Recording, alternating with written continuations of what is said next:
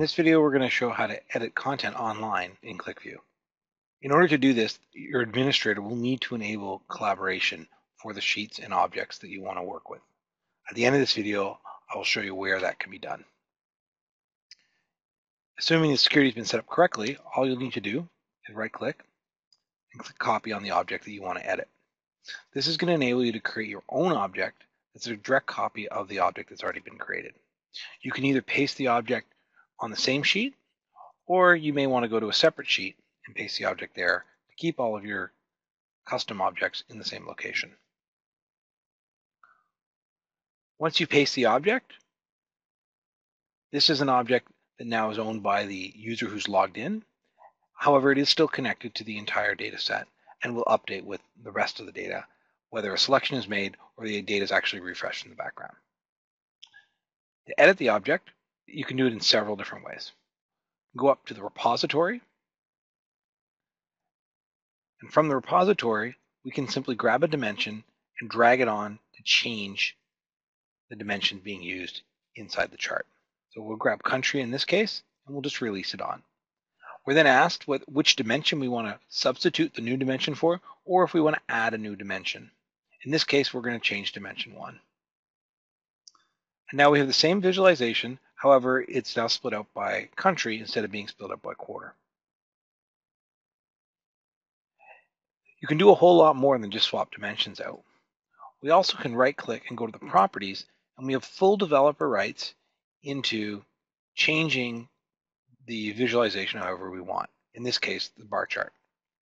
If I want to change the expression, I can again use the repository and grab the expressions and perhaps grab number of orders. And I simply drag that onto the expression uh, area of the chart properties. And that will add that expression to my visualization. I can then also remove other expressions. So in this case, we'll delete sales amount. And now my chart's updated and it's showing number of orders by year by country. If I go back into the properties, I'll also point out there's a whole lot more we can do. We can get into the granular detail of how we want the chart to be displayed, what the presentation is going to look like, and we can even change the caption, menu items, and so forth. In addition, in the, in the caption area, we also can enable the fast change type. So if we wanted to change this chart, let's say from a bar chart to a straight table, we can enable that fast change, and then we'll get this two chevrons up in the top right corner of the chart. And that's going to enable us to change the chart to a different chart type.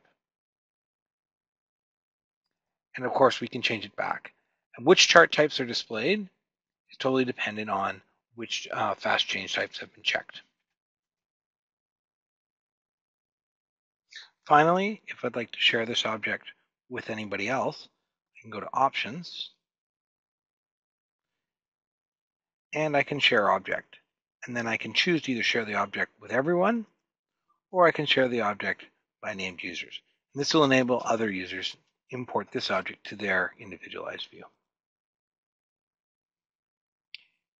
If you need to enable collaboration uh, for a particular app or on your server, you need to go to the QMC. This will be done by administrators. First, we need to go to System, view server, documents, and allow ser server objects. That will allow the ability to create objects on the entire server. We also need to enable this on individual documents.